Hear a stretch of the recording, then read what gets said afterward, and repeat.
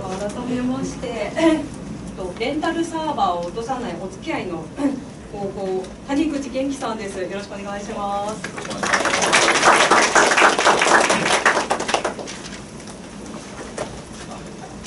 じゃあ、えっとですね、えー今日はそのレンタルサーバーを落とさないで使いこなそうということで、えっとまずですね、何がレンタルサーバーのボトルネックになっているのかっていうところからまずあの知っていただきたいで、えっと特にワードプレスがそのレンタルサーバーに与える負荷ってどういうものがあるんでしょうかっていう話から、えっとまあ、そんなレンタルサーバーとの付き合い方という形で、えっとお話しさせていただければと思います。で、えー私谷口と申します、えー2016年桜インターネット入社で、えーっとその前はですねあのデザイン会社でディレクターやってたりとかあの結構ウェブ制作系のあの仕事をずっとしておりましたで今は、えーっと桜のレンタルサーバーのサービス企画とかですねあとあの SSL 証明書とかドメイン売ったりとかあとあのコンテンツ配信あの CDN サービスの、えー企画などをさせていただいております。えーでは早速入らせていただきます、えーとレンタルサーバーのボトルネックっていうところをまずご説明する前に、えーとここで言っているレンタルサーバーとはっていうのをちょっとあのお話しさせていただければと思います、まあ、つのサーバーの中に複数のお客さんが同居している共用サーバーサービス。とさせていただいてましてこれちょっとあの猫でも分かる VPS 講座っていうやつのカードを拝借してきたんですけどあの、まあ、要はレンタルサーバーって1個のこの部屋の中にいろんなお客さんが入っててみんな好き勝手やってるなんだけど、えー、と例えばこう本棚とかあの家具とか冷蔵庫とかは、えー、と備え付けられているっていうようなイメージですね。で、えーとまあ、あのさくらで提供している VPS っていうのがあるんですけれどもその場合はこのさっきの1個の部屋と違って部屋がこう仮想の枠で枠区切られています。でその枠の中では好き放題やって大丈夫。でこいつカラオケをしてても隣の人はちゃんと安眠できるような感じになっています。でいわゆるクラウドサーバーって、まあ、AWS みたいなもんですね。あのうちでも提供してるんですけれども、えっとこっちは、えー、なんていうんですかこう後から部屋を拡張できたりとか。で、まあ、その分料金かかるんですけれども、えーっていうのが、えークラウドサーバー。でまあ共用サーバーって要はあの寮みたいなもんでお風呂とかトイレとか寝室とか、まあ、ご飯も出てきたりとかいろいろこうあのーていうんですかねサービスがついているんだけれども、まあ、ちょっと制限がありますと。でえっとでも制限があるんだけどいろいろ共用できるから安い。っていうのがレンタルサーバーの特徴です。でそれ以外に要は VPS とかクラウド AWS との違いなんですけれどもまず管理者権限がないのがレンタルサーバーです。で、まあ、いろんなアプリケーションがセットアップされています、まあ、要はあのアプリケーションってここで言ってるのはあの Apache とかあの NGX とかえーそういうミドルウェアとかですね、まあ、あと Python が入ってたりとか、えー、と Git のアプリケーションが入ってたりとかっていうのがレンタルサーバーですね。で、まあ、コンパネがあるので黒い画面いちいちしなくても大丈夫。でワードプレスのクイックインストールができたでそうですね。あの OS とかミドルウェアのその、まあ、いわゆるメンテナンスですね。Windows アップデートみたいなものを定期的にやらないと VPS とかはあのクラックされちゃうことがあるんですけれどもそれが必要ないです。なので、えっとまあ、ちょっと制限があって自由度が低いんだけれども OS メンテがいらなくて黒い画面もいらないっていうのが、まあ、特徴ですね、まあ、あの後からクラウドサーバーみたいに拡張できるレンタルサーバーっていうのも最近あるはあります。でその一般的なレンタルサーバーのサーバー構成なんですけれども、まあ、ちょっとこでサービスサーバーって呼んでるのはいわゆる、まあ、お客様がログインしているサーバーで物を置いたりするところですで、えーとワードプレスで言うときて必ずデータベースをセットアップするんですけれどもそのデータベースは違うところにありますなのでサーバーは、まあ、これうちの場合なんですけれどもあのお客さんが入れてるデータの置き場所とデータベースは違う筐体に入ってます。でここの部分がネットワークで接続されているっていう構成。でまあ同じ拠点なんだけれども別の筐体に入っているっていうパターンですで一方ですねその最近よくあるクラウドレンタルサーバーって要はあのお金増やしたらあの別のプランに結構簡単に変えられますよみたいな、えっとレンタルサーバーの場合は、まあ、1個の筐体の中にデータベースを入れているっていう場合もあります。でここで、えー、とサーバーのボトルネックなんですけれども、まあ、CPU の負荷だったりとかメモリー消費だったりあとディスク IO、まあ、要はあのハードディスクに書き込んだり読み出したりっていうインプットアウトプットですね。であとはネットワークタイプ。あの要は、えー、と例えばいっぱいのお客さんが動画をダウンロードするとその回線のネットワークが全部埋まっちゃうとかっていうのもありますでこういうボトルネックが、まあ、いわゆるハードウェアの、えーと、処理の限界みたいなものが普通のサーバーのボトルネックなんですけれどもレンタルサーバーの場合っていうのはその要はこの CPU の負荷を1人のお客さんが基本そんな100%使い切ることはあのできないようにしております。で、えー、っと要はそのサーバー資源を例えば1人のお客さんがメモリ全部食っちゃったみたいなことが起きないような制限を入れているっていうところですね。なのでそうすることによって、まあ、他のお客さん同居しているユーザーの方に負荷がかからないような、えー、いろんな処理をあのしています。でまあこれまあ、上げてるのが一例なのでみんながみんなこれやってるわけでもないですしあのうちでこれ全部やってるっていうわけでもないんですけれども、まあ、ありがちな、えっと制限ですね。なので例えばこうもう極端な話こうアラートが上がってきたら人力でプロセスを落としたりとかっていうことも、えっと、やっているところもあるかなと思います。で、まあ、共用サーバーはいろいろ制限がありますと、まあ、それも、まあ、やっぱりこのなんていうかねお客さん同居して安く提供できるように、あの制限を入れてるっていう感じになりますね。でああと制限の他にあの1個思い出していただきたいんですけれどもこのカラオケしてる人ですね。要はあのお客さんがこう暴れてるとかなんかこう好き勝手してる状態っていうのがレンタルサーバーだとありえますでその人がこの横で寝てる子にこう迷惑をかけている状態っていうのがありえます。なので同居人の影響を受けやすいっていうのもレンタルサーバーの特徴。ですねでその結果、まあ、ワードプレスが遅くなったりとかあの負荷かかった時にサイトが重くなっちゃったりとかっていうことはありえます。でこの制限とかなんですけれどもあの、まあ、いわゆるあのサーバーが落ちてるように見える状態っていうのを経験された方もいらっしゃると思うんですけれどもこの場合例えばこの人は今サイト A が大量アクセスで見れないっていう状態になってるんですけど実は同居してる人は他の人は見えてる。要は落ちてるんじゃなくて制限に引っかかっちゃってて見えないだけであって他の人にはちゃんとサービスを提供できる状態。っていうのを作るように、え作られるようになってるっていう感じですね。ちょっと DDoS とかで前段してしまう場合もなくはないんであの100%こういう状態が作れるわけではないですけれども一般的には同じで処理をしている。でえー、っとじゃあ VPS とかクラウドも同じサーバーにあのお客さんいっぱい入ってるの一緒じゃんっていう話になるんですけれども、えっとまあ、要はその何ですかこの枠仮想の枠っていうのがすごくよくできていて、えっと、こいつが1人で大暴れできるのはこの枠の中だけ。で他のところに迷惑はかからないようにいい塩梅になってるっていう感じですかね。ざっくりの話なんですけど。もってことですね。じゃあなんかこんな話ばっかりしてるともうさくらのやつがワードキャンプにやってきてワードプレスちゃんと使えねえみたいな話をしてたって言われるかもしれないんですけれども、えっとまあ、そんなことなくてですね、あの、一般的に使っていただく分にはとかですね、まあ、ちょっとブログやってみようとか情報発してみようとか、まあ、あと何ていうんですかねこうまあ、普通にウェブサイトを作って情報発信したいみたいな方にはやっぱりあのレンタルサーバーってメンテの手間がかからないでかなりおすすめです。で一応まとめですね。えーとまあ、ボトルネックの話を今していたんですけれども、まあ、共用サーバーっていうのが制限とか負荷の影響が結構かかりやすいです。でその代わり、えーと、安かったりメンテが楽だったり設定がいらなかったりっていうメリットはあります。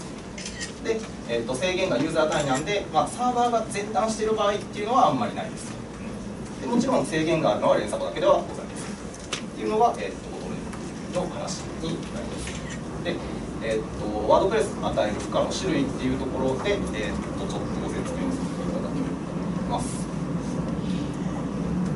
主にですねそのウェブサイトがサーバーにかける負荷の種類って、まあ、例えば重い動画とか画像を配信したりっていうのがネットワークに影響があったり、えーと、バックアップ処理ですね、あのー、まあ、プラグイン入れてやられてる方もいらっしゃると思うんですけれどもそのバックアップ処理によって CPU とかデータベースとかネットワーク、まあ、要は全記事データをダンプしてあのドロップボックスに上げるみたいなプラグインもあると思うんですけれども、まあ、そういったバックアップの処理でかかる負荷、まあ、あとは複雑なループ処理、まあ、要は PHP で直でいろいろ書いていて、えー、とそれがサーバーに負荷をかける場合などもあります。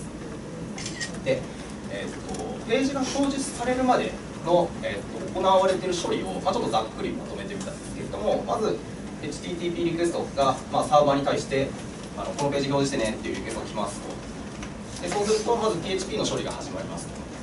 で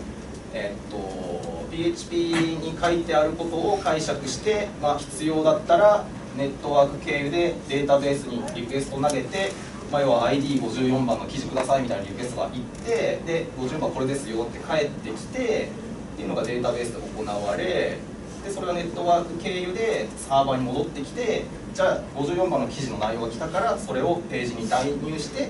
で HTML を出力しますっていう処理が、えーとまあ、ざっくりの流れですね。で、まあ、要はですねそのこの PHP の処理をどんどんどんどんいろんな複雑なことをやることによってあの重くなっていくと、まあ、要はあの Excel で VLOOKUP とか IFNEST を死ぬほどしてるとどんどんどんどんシートが重くなるのと、まあ、似てるかなというまあ、ちょっと具体的にその負荷の例って何なんですかねっていう話なんですけれども例えばここでピックアップするのは勝手に負荷が上がってしまう事例っていうのがあって、まあ、あの例えばログイン画面に2段階認証を入れる追加のプラグインみたいなのってあると思うんですけれども、えっとですねまあ、それを入れた状態で悪い人が来て総当たり攻撃、まあ、要はいろんな ID とパスワードをあのワードプレスのログイン画面にガシガシ入れていく攻撃って結構、まあ、メジャーなんですけれどもあります。でこれってその総当たり攻撃が来てる間中ずっとプラグインが実行されてる状態になっちゃうんです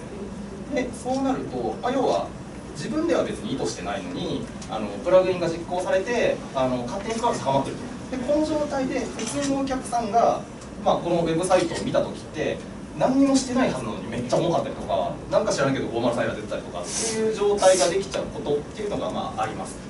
まあ、要はこれが負荷が高まってる状態ですね。で例えばこういう場合って実はあのレンタルサーバーの場合ってベーシック認証っていうのをかけることができるんですけれどもこの場合ですねその総当たり攻撃が来たとしてもここに要は管理画面がログインあログイン画面がロードされる前にアパッチのウェブサーバーの時点であの総当たり攻撃全部403を返して、えっと、拒否することができるんで、まあ、プラグインは実行されないんですね。でこういう状態を作ってあげると、まあ、要はあの負荷がかかりにくいサイトっていうのができますというようなイメージ。でまああのさまざまな要因でそのサーバーへの負荷っていうのがかかるんですけれども、まあ、特にワードプレスにおいては PHP とデータベースの、えー、と処理の占める割合は非常に大きいですと。であとはまあ処理の複雑さが負荷を増大させることがありますという感じです。じゃあですねその負荷とか制限とどういうふうにお付き合いしていいのかなと言ったらいいんですかっていう話ですね、まあ、要はそのどうやっぱワードプレスのいいところって動的にいろんなことが実現できるっていうのが、まあ、ワードプレスのやっぱすごい特徴でもあるしプラグインでいろんなあのやりたいことがあのできるっていうのが特徴なので、まあ、要はその動的な要素を維持したまんま、まあ、高パフォーマンスを実現したいっていうのが、あのー、まあ、皆さんの希望だと思うんですけれども、まあ、それやろうとするとまあ、要は札束でぶん殴らなきゃいけない状態になってしまう。要はあの、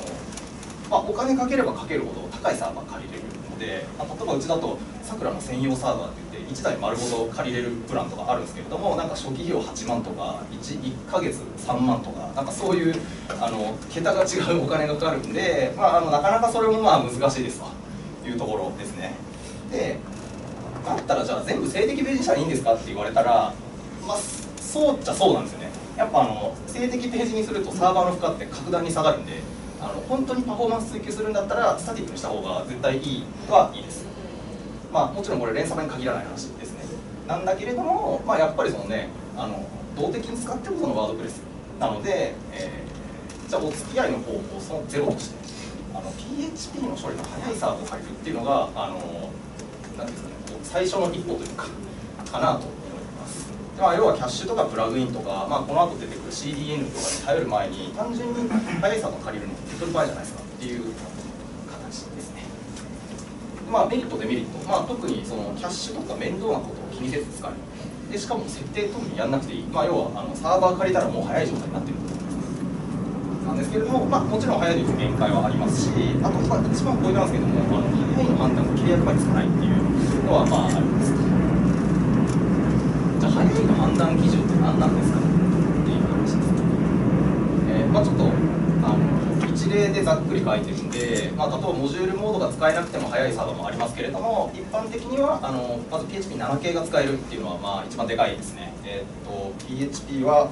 5.6から7.1とかに変えると大体23倍は普通に処理のスピードが上がるんで、えー、7系使えるだったら7系が使った方がいいしもし今5.6使っててサーバーで7が使えるんだったらあの特に問題なければ絶対7にした方がいいです。で、えー、っとあとは PHP モジュールモードですね。モジュールモードがあれば早いっていうわけじゃないんですけれども、まあ、モジュールモードが使えると、あのー、結構速くなります。うちのレンタルサーバーでもモジュールモードを使えるようになってまして、えー、っとちょっとスタンダードは新規のお客さんだけなんですけれども、まあ、だいぶあのスピードは速くなってます。まあ、あとは速いという評判のところを選ぶっていうのは結構大事かなと思います。なので、まあ、あの X サーバーさんとかあの速いって言われてるところを選ぶっていうのは、まあ、やっぱあの一つの回答なのかなと思います。でもあとはやっぱ実際に借りてみるですね、あの大体どこも2週間も試しとかあるので、まあ、実際に借りてあのどれぐらいのスピードで自分がその管理画面とか開いたりできるのかっていうのはあの体験したくしていただくのはあの有効かなと思います。で、えー、っとじゃあ私のワードプレス遅いと思ったらまず PHP などを使ってるか確認しましょうと。これは結構でかいですね。ではモジュールモードが使えるかどうかを確認、あ、のチェックボックス入れてオンにしたりできるあのレンタルサーバーもあるので、えー、そこは確認しましょう。であとバージョン依存がなければその、まあ、5.6使ってるんだけれどもあのあの7.1にしてみようかなっていうのはぜひ検討いただきたいです。あの、まあ、うちもそうなんですけれどもあの PHP のバージョン変更って管理画面でポチってしたらできるんですよ。でサイト開いてあやべってなったらすぐ5.6に戻したらあのなかったことにできるんであのぜひ気軽にやっていただいて 大丈夫です。で、えー、っと参考データですね。PHP バージョンの設定の割合なんですけれども、まあ、ちょっとうちの会社結構、ま、昔からレンタルサーバー提供してて5.2をデフォルト提供してた期間が超長かったんでなんと今5.2が一番多い状態になってます。で5.4と6が、えー、こんぐらいの割合になって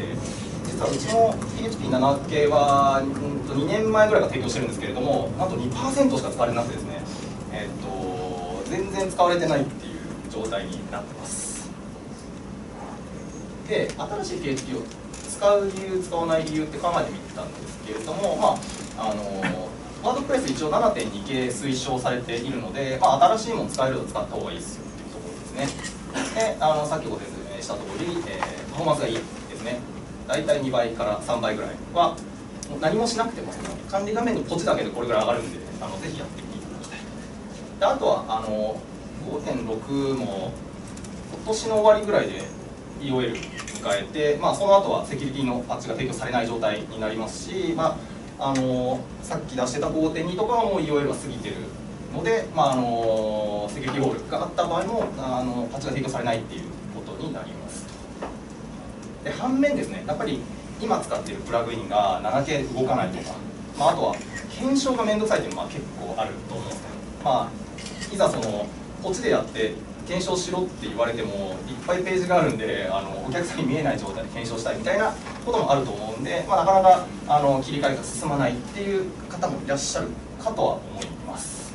けどパフォーマンス上がるし個人的にはあの変えていただきたいっていう思いですね。でもちょっとあの宣伝させていただくと、えっと、さくらのレンタルサーバー PHP モジュールモードは使用可能になってますので、えっと、プレミアム以上のプランでしたら、えー昔から使っていただいてたお客さんもあの7.1のモジュールモードを選ぶボタンがあるんで、えー、そこから切り替えができます。で、え、っとスタンダードの方はですねちょっと申し訳ないですけども4月18日以降のお申し込みの方は、え、っと利用ができるようになってます。で利用可能でかつデフォルトオンになってます。であとですねあの実はあのステージングバックアップステージングという機能がありましてその今サーバーに入ってるデータベースと、えーファイルをそのまま整えてきてスナップショットって撮れるようになってるんですでそのスナップショットをあの全く本番と関係ないステージングっていうのを自動的に作る機能があってそこにあのデプロイするときに PHP のバージョンを選べるんですよ。なんでその時に今5.6でやってるやつを7.1に変えてみて、えー、っとバージョンアップの検証っていうのもできるんで、まあ、もしお使いの方はあのこれ、えー、っと スタンダードプラン以上の全プランで使えるんであのもしよろしければお試しください。じゃあですねそあのやっとその1にたどり着いたんですけども、えーと、キャッシュを使うっていうことですね、えー、キャッシュって何なんですかっていう話なんですけど、まあ、さっきご説明したその PHP 処理するとき、まあ、こんだけ間に動的なもの処理する処理が入りますと。でキャッシュ使った場合って、まあ、要はあのキャッシュを読み込んでくるだけで HTML が出力できます。要はこのデータベース処理とか PH、まあ、PHP の処理厳密に言うと走ってるんですけどプラグインの場合は、えっと、PHP の処理がこう濃厚なのをやんないでこうサクッと読み込んで、えー、出力できると。なのでこの分だけ時間が節約できる。っていうのがまあキャッシュですね。で、えっと、レスポンス時間が減る、まあ、要はこの分の時間が減ってるんで、えっ、負荷が減るって言ってるんですけれどもこれどういうことなの？か要はですね重い処理をしている時って今この縦軸っていうのは制限。なのでこの人は例えばなんですけれども、えー、同時並行処理が3本しかできないんです。で3本ずつ処理していくんで、えーと、時間がどんどんどんどんかかりますと。いうような状態になってます。でもし高速の処理が終了する要はこの時間軸を縮められるんだったら、えー、とこの分だけあの早く、えー、処理が終わるので負荷も少ないっていう形ですね。なので、えーと、言い方変えると、えー、同じ時間で処理できるリクエストが増える要はこれって今、えーと、3×10 ぐらいの処理ができてるんですけれどもこっちは 3×3 で 9, 9件の処理しかできない、まあ、要はこれと同じ時間でこんだけいっぱい処理ができるという状態が作れる。ってことですね、まあ、要はそれがキャッシュの効効果とかになります。まあ、ちなみにあの一部のレンタルサーバーでうちも提供してるんですけれどもあのリソースブーストっていう機能があってあの48時間だけ、まあ、なんていうんですかねこうアドオンで処理を増やせるみたいな機能があるんですけれどもそれを使ってる状態っていうのは要はこの3個の制限が一時的に6とか 9, 9件まで同時並行処理ができるような状態を作ることができる。なのでこれをさらに同時に縦軸に移してしてさらに早く処理が終わる。状態を作ることも可能なレンタルサービスもあります。でですねあの WP スーパーキャッシュっていう有名なあのキャッシュプラグインあると思うんですけれども実際これどれぐらいあの効果あるのかな？とちょっとベンチマークしてみたんですけれどもまあ、あり状態あなし状態で、えー、60リクエスト毎秒処理できていたのが、えー、スパキャッシュ有効にしたら314リクエスト、えー、毎秒ですね。処理ができるようになりましたと。なので5倍ぐらいパフォーマンスが良くなる。っていう感じですね。でまああのー、結構キャッシュのプラグインってその入れたらなんか良くないことが起きるとかなんかちょっと、まあ、怖いなっていうイメージはあると思うんですけれどもまああのー、そうですね。あのー、まあ、特にうちのなんですかね、こうレンタルサーバー的にキャッシュのプラグインを使ってほしくないみたいなことはないんで、あの自分のサイトのパフォーマンス上げたかったら、まあ、キャッシュプラグイン使ってみたらいいと思いますよっていう感じです。なので、まあ、ちょっと5倍ぐらいですけれども、まあ、負荷体制が向上するという感じですね。でまあ、あとですね、レンタルサーバー側でキャッシュ機能を提供しているところもある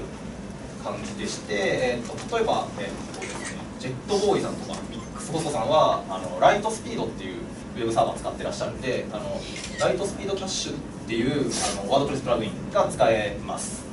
であとですね X サーバーさんも WPX でキャッシュの設定ができますし、えっと、ロリポップさんはコンテンツキャッシュ機能っていうのをあの先日リリースされてらっしゃったのであのキャッシュ設定がコンパネでできるっていうレンタルサーバーもあります。ちなみにうちはないです。で、えーまあ、ちょっとベンチマーク勝手にやっちゃったんですけれども多分あのプラグインのキャッシュよりあのレンタルサーバーで提供しているキャッシュの方が高パフォーマンスですね。あのなので、まあ、この辺のレンタルサーバー使われている方はあの有効にしてみるのも一つ手かなと思います。で、えー、キャッシュ機能のメリットデメリットなんですけれどもその、まあ、PHP の処理がスキップできるのであのでプラグインの場合は、まあ、非常にお手軽ですね。あの有効化するだけなんで。で反面そのキャッシュ時間の検討が面倒くさいとか、まあ、キャッシュが消えないとか、まあ、あとコメント投稿して反映されないとか。っていうあのことがあるはあります。なのでまあ本当に単純にこう何ていうんですかね。本付けで有効化して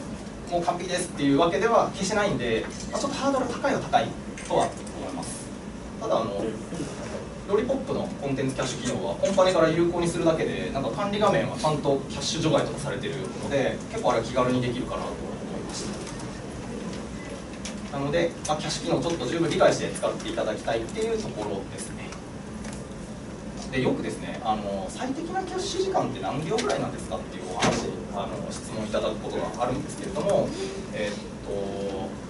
結構デフォルト3600とか8万7400秒っていうのが割と多いんですけど、まあ、これこれ1時間こっちが1ですね。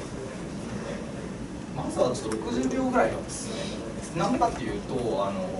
まあ、最悪消えなくても1分で消えるっていうのと、まあ、あとあの自分でこうなんていうんですかね効果が分かりやすいというかあのキャッシュが切れたらすぐえっと何の意識をしてなくても例えば投稿ボタンを押して、まあ、60秒後には最悪更新はされるんで、あのー、あんまりこうああキャッシュ消えねえみたいなストレスっていうのはかからないかなと思います。でえー、っとそうですね。で、えー、次にお付き合いの方その2ですね、まあ、CDN いわゆるそのコンテンツデリバリーネットワークっていうものを、えーまあ、これ最終手段だと思うんですけれども、えー、ご紹介させていただきます。まずですね、まあ、さっきから、出している図なんですけどこれがキャッシュが何にもない素の PHP をや処理をしている時。でキャッシュ使うとまあこんだけになりました。CDN 使うとどうなるかというとこの分だけリソースが節約できるようになります。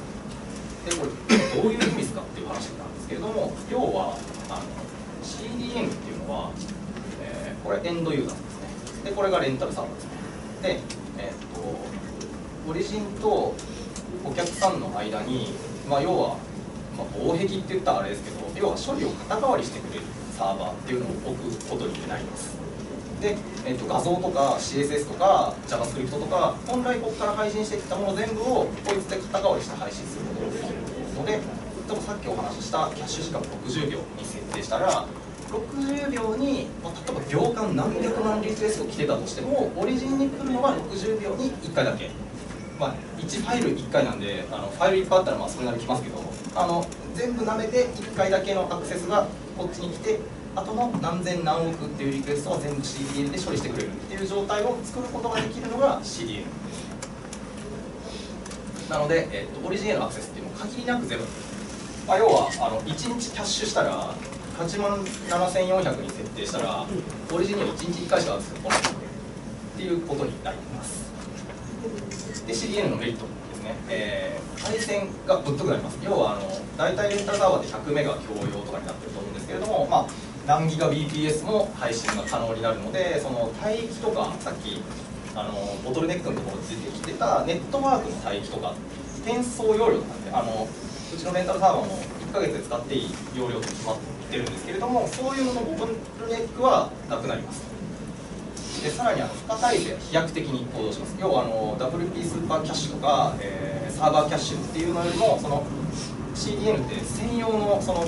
配信用のサーバーになっていてその、まあ、ものすごい負荷が来てもほぼほぼ落ちることはない。まあ100%落ちないわけではないですけれどもあの、まあ、かなり普通の500円のレンタルサーバーより全然飛躍的に向上します。なので、まあ、極端な話その500円ぐらいのうちのスタンダードの連鎖場でもものすごい負荷に耐えられるサイトが、えー、っと構築することができます。でデメリットですね、えーまあ、実は結構デメリットが多くて、えー、まずほぼほぼ重量課金。要はあの転送 1GB につきあの5円とか高いところだと何十円とか。っていうのがかかるとか、えさらにリクエスト回数でお金取られたりとか、えー、リクエスト回数とあとなんか HTTP アクセスだとさ HTTPS だとさらに値上げみたいなのがあったりしてちょっと計算がややこしいと思う。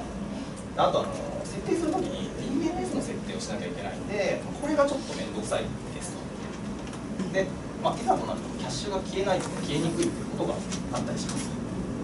でさらにあの全ファイルキャッシュしないと意味がないって書いたんですけれどもあの要はですね処理が何ですかね CDN の使い方って大きく分けて2つあって全部のファイルをキャッシュするパターンと一部の重いファイルだけキャッシュするっていう使い方もできるんですけれども、えー、一部の処理だけ連鎖場に貫通させてしまうとその結局連鎖場の負荷が変わらなくなっちゃうんで連鎖場とかその、負荷耐性の低いサーバーをオリジンにしようとするときは必ずあの全ファイルをキャッシュしてほしいということがあったりします、まあ、あとはこれですねキャッシュぐらいの事故、まあ、結構あのいろんな会社さんでやられていることあるんですけれども要はあの僕がアクセスした自分のマイページが全然違う人に見えちゃったみたいなことが起こり得るんであのキャッシュっていうのはまあちょっと怖いです。で、えーとまあ、オリジンを低いコストで運用してその高負荷時のみ CDN 使うっていうのはまあ賢い運用方法ですね。で CDN 適切に使っていただければ、まあ、99%サイト落ちないかなと思ってます。まあ、もちろんあの株のサイトとか金融系とかでこうキャッシュできない情報がメインのサイトはちょっとこの場合あの覗かせていただくんですけれどもっていうところですね。で、えー、っと一応ですねうちのあのさくらのクラウドっていうサービスで Web アクセラレーターっていうあの CDN サービスっていうのを提供してます。で、まあ、結構お客さん増えてきてるんですけれども大体 Amazon、AWS のクラウドフロントの3分の1ぐらいのお値段であの使えてるお客様もいらっしゃいます。で 1GB バイト5円ポッキーなので、えー、それ以外のリクエスト数書けるとかありますで無料枠が 500GB 分あるんで、あのー、まあ、結構お試しで使っていただくことも可能かなと思いますあのもし、あのー、ご質問ありましたらまた後で下のブースに来ていただけで、えー、っとちょっと私の方でですねレンタルサーバーと CDN の設定方法っていうのを、あのー、桜のナレッジっていう情報サイトで書かせていただいているのであのもしご興味ありましたら読んでいただければと思います。でここまでのポイントですね、えー、早いサーバー選びが基本ですと。でキャッシュプラグインもいいですねと。でサーバーキャッシュがあったらさらにお役立ち。で CDN は温度最後の頼みですね。えっ、ー、と面倒くさいけど、まあ、かなりあの強いです、まあ、ほぼほぼサイトは落ちないです。というような感じです。でちょっと番外編としてプラグインとかテーマの話をちょっとさせていただければと思うんですけれども、まあ、プラグインとかテーマとパフォーマンスの関係ってどうなんですかねっていうあの話ですね、えー、っとまあ、さっきから何回も出てる処理なんですけれども要は、え、設定値が増えると負荷が増える。と思っていただいていいかなと思います、まあ、ただその設定がどこで読み込まれるかによるんですけれども例えばページがお客さんがページ見るたんびにあのカウントが増えていくアクセス解析みたいなやつとかっていう機能があったりするとお客さんがサイト読むだけでそのプラグインのある部分が実行されるので、あのまあ、負荷が増えるっていうことはあります。でもちろんプラグインとかテーマによって負荷は違いますなので、まあ、オンオフしたりとか、あのまあ、テーマちょっと仮で切り替えてみたりとかしてあのパフォーマンスどれぐらい違うのかなっていうのは一回ちょっと見直してみるのもいいんじゃないかなと思います。で特にですねやっぱりあのこう重量級のプラグイン入れるとどうしても入れただけでパフォーマンス悪くなるっていうこともあるのであのぜひそのあたりまあ、あのプラグイン選びとかテーマ選びっていうのはあのこだわってみてもいいのかなと思います。でもちろんこれ連鎖場に限る話ではないのであの VPS とかクラウドで、えーワードプレスのサイトやられている方もあとぜひちょっと気にしてほしいなっていうところですね。で、えー、そうですね。付加視点でプラグインとかテーマ選びっていうのをしてみるのもいいかなと。で、まあ、オンオフで比べるのは結構大事ですね、とはいえやっぱりこうワードプレスの良さってプラグイン入れてあの自分のやりたいことを実現できるっていうのがやっぱいいところだと思いますし、まあ、うちもプラグイン出してるんで、あのー、まあなんですかねこうやっぱりホスティング事業者としては PHP が快適に実行できる環境っていうのを作っていくのもミッションなのかなというふうに思っています。なので、まあ、うちはその PHP7 のモジュール版の提供したりとか、えー、まああのコンテンツキャッシュを機能を追加されたりとか、まあ、いろんな会社でその PHP が快適に実行できるような環境っていうのを作って、えー、っと言っているのではないかなというふうに思います。なので、えーまあ、桜インターネットでは今後も連鎖場でワードプレスが快適に使えるように、ま、頑張っていきたいと思っておりますので、えー、よろしくお願いします。いうところであそうですね、あの、一応さくらのナレッジっていうところでもう一個今レンタルサーバーでワードプレスを運用する際のコツとか、まあ、の SSL の話とかですねあとは、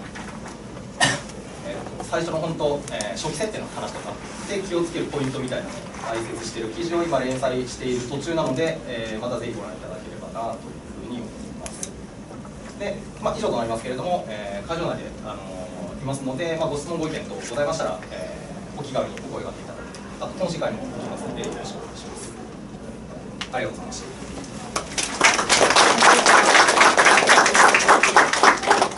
少しお時間あるので、この場でも質問ちょっとあはいはい大丈夫です誰か質問ある方いらっしゃいますかはいえーと普段ウェブデザイナーでやらせてもらってるものなんですけれども、あのこれワードプレスであののあのプラグインとか利用したんですけど、はい。サーバーの方はしたことなくて、クライアントさんに確認するときってあのプラグインの場合はプラグインの方でキャッシュをクリアするんですけど、サーバーの方でもキャッシュを導入した場合って、サーバーのコンパニに入ってないとクリアしてるんです。あそうですね。ちょっとえっと WPX とかコンテンツキャッシュそこまで使ったことないんですけどキャッシュ確かロリポップさんのコンテンツキャッシュはコンパネからクリアできたと思います。ただなんか10分か5分かかりますみたいなことを書いてありました。いやなんかダブルで使っても効果あるらしいんであの詳しくは X サーバーさんあの結構 CDN もそうなんです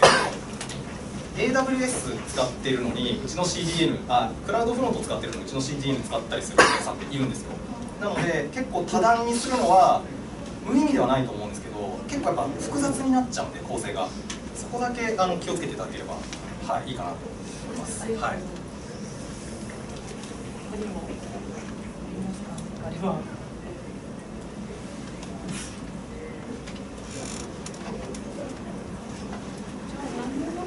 ちょっと5分早いんですけど今回のセッションはここまでにさせていただ